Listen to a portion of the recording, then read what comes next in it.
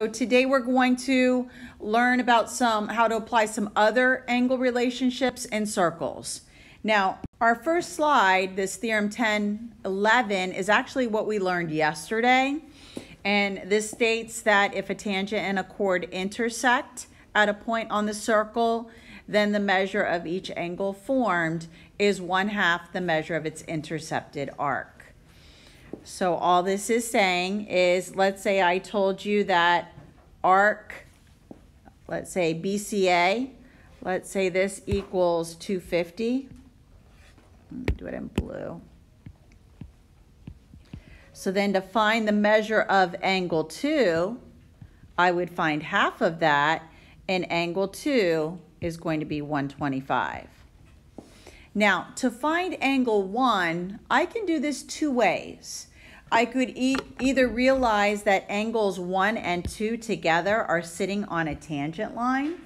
So the fastest way to find the measure of angle 1 would just be to take 125 and subtract it from 180. And that would give me the measure of angle 1 equals 55 degrees.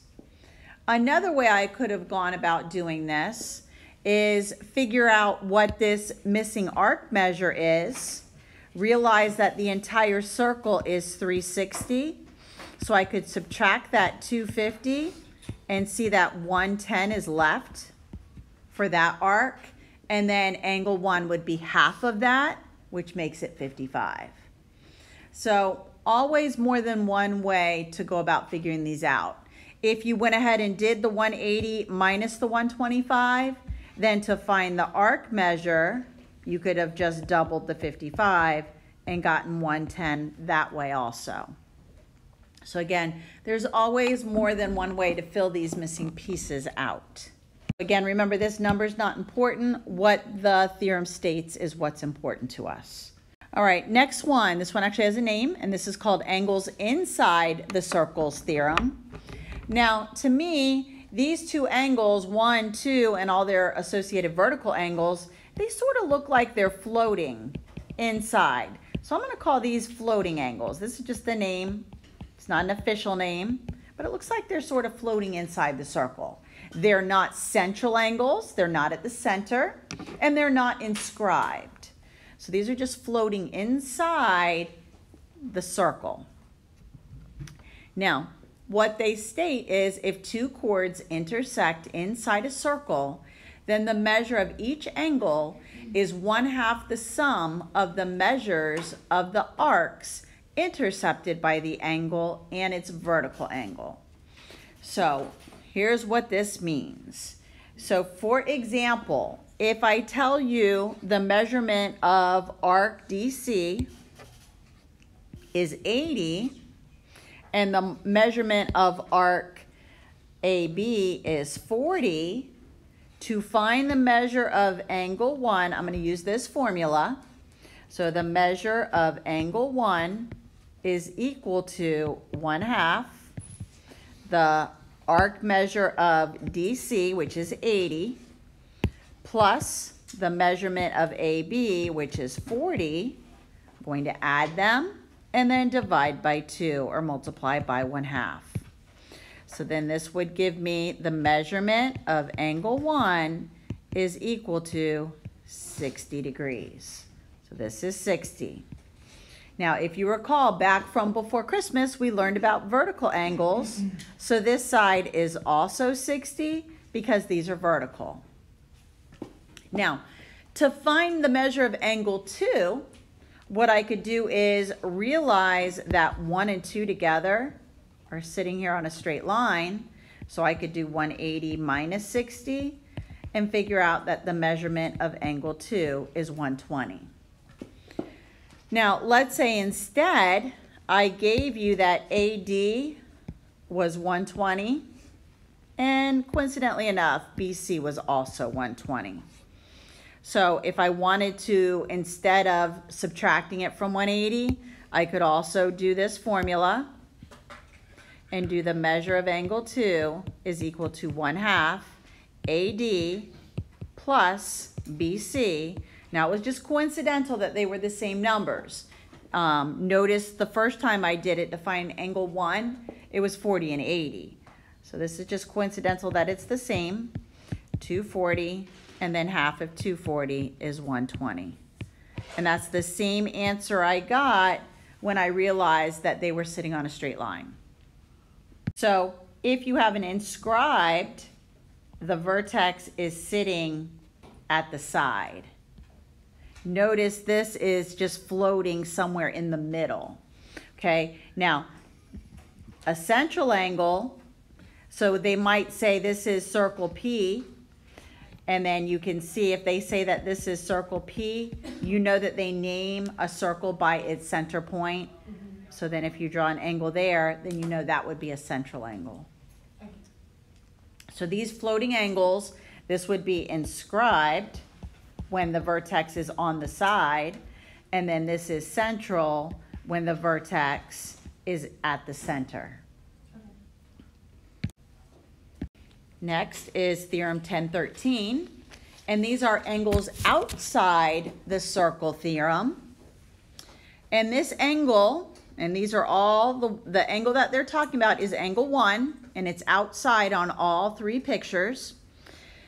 This angle 1 is formed in this picture by two secants. This angle 1 in the middle picture is formed by two tangents. And the last one is formed by one tangent and one secant.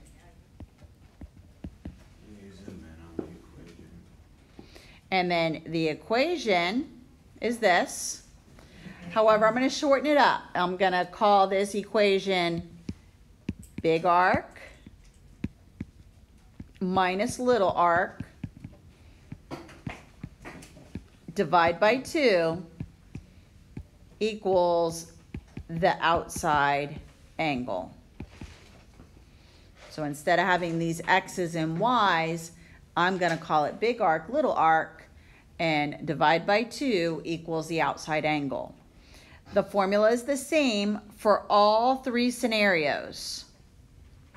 So notice the x in their formula, this x degree, is the big arc. So in all of my pictures, this is the bigger arc in this picture. This would be the bigger arc, bigger arc. And then little arc, which is the y, would be this little piece, this little piece, and this little piece. Outside angle that they're referring to is this one over here, where either your two tangents meet, your two secants, or your secant tangent.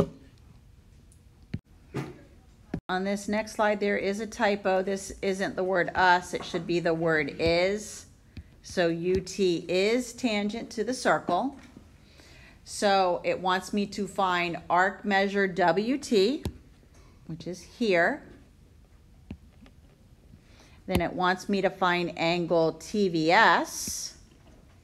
So TVS is here. And then it wants me to find RVS, which is here. And then it also wants me to find arc measure RS. So these are the four things that I'm going to try to find. So the first thing I'm going to do is find arc WT. So for this one, I'm going to use that big arc minus little arc. Divide by 2 equals that outside angle. So for the first one, part A, over here is my angle. It's formed by a secant and a tangent. So I'm going to do outside angle, which is 30. And then I'm going to call this is big arc, the 100. And this right here that I'm looking for is my little arc. So big arc is 100. Little arc, I'm going to call it x. Divide by 2. First thing I need to do is get rid of the fraction. So I'm going to multiply both sides by 2. So I get 60 is equal to 100 minus x. Subtract the 100. Negative 40 equals negative x. Divide by negative 1, x equals positive 40. So little arc is now 40 degrees. Let me erase these words and I'm going to put in the measure of little arc. So I'm going to put a 40 here now. Next it wants me to find TVS. So TVS is right here. So this one, this is my floating angle. So for part B, I'm going to do this intercepted arc plus this intercepted arc and divide by 2. So 100 plus 110 divide by 2, 210 divide by 2, and this is 105. So this angle is 105 degrees. Now to find this green angle, RVS, yeah. Okay, so just remember your figures are usually never drawn to scale. All right, now to find RVS, the green angle, realize that we can do this more than one way. We could either use our um, information that we just learned, or we can realize that these two are sitting on a straight line. So to find this, I could just do 180 minus 105, and RVS is 75 degrees. That's the easiest way to do it. Then to find arc RS, find arc RS, I can do two things here. Realize I have almost the entire circle, circle filled in, and I know that the entire circle adds up to be 360. So what I could do is I could add 110, and let me do this, 110 plus 40 plus 100, and then RS I could say is X plus X equals 360. Once I add these, I get 250 plus X equals 360. Subtract 250 and X equals 110 degrees. So that's the measurement of RS. The other way would have been to add those two intercepted arcs and divide by two. The other way I could have done D is I realize, realize that you have the 40, you've got the angle, what we don't have was this. So I could have done the formula where you take the two arcs, add them, divide by two, and it gives you the floating angle. So again, multiply both sides by two, to get rid of the fraction. 75 times 2 is 150. Subtract 40, and that missing arc is 110. Same answer I got by adding up all the pieces and subtracting from 360. Yes. All right, this one, it wants us to find the measure of angle D. So angle D is formed by two tangents.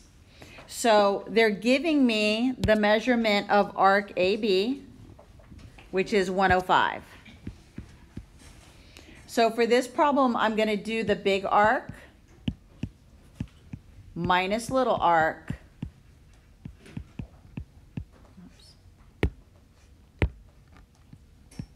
Divide by 2 is going to give me angle D.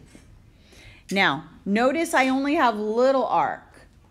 But whenever you have this, the case where there's two tangents, if you know one of the arcs, to find the other arc, subtract it from 360, and that's going to give you the other missing arc. So the big arc is what's remaining, and it's the 255.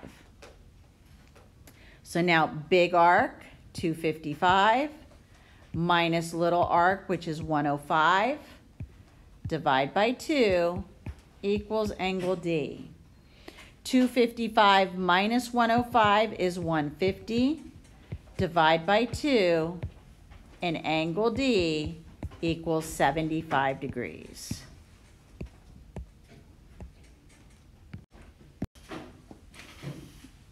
This time they want us to find the measure of arc AB. So AB is here. Notice again, these are now two secants. So again, I'm going to use the formula big arc minus little arc divide by 2. And that gives me outside angle.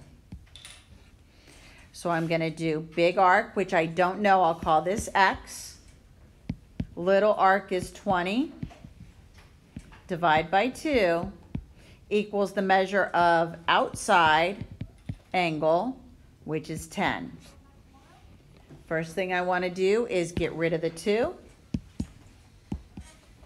So then I'm left with x minus 20 equals 20. Add 20 to both sides.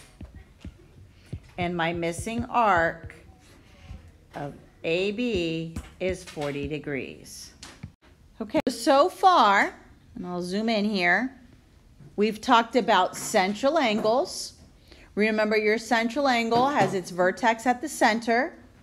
The measurement of the central angle equals the arc measure. So if the measurement of angle 1 is 60, its corresponding arc measure is also 60. Next, we learned about inscribed angles. Inscribed angles have their vertex sitting on the side of the circle. The measurement of the angle is always going to be half the arc. So we could say angle, let me do this in red. So the angle, when it's inscribed, is equal to one half the arc. So if our angle is 30, then um, the arc would be double that, so it would be 60. Then the next thing we talked about was a tangent and a chord. And here we knew that the angle that's formed by the tangent and the chord is always going to be equal to half of the arc measure. So if angle 1 is 50, then its arc is 100. Where's angle one? Down here by the B. Um, this is the one right here. So it's the angle formed by the tangent and the chord. The whole thing?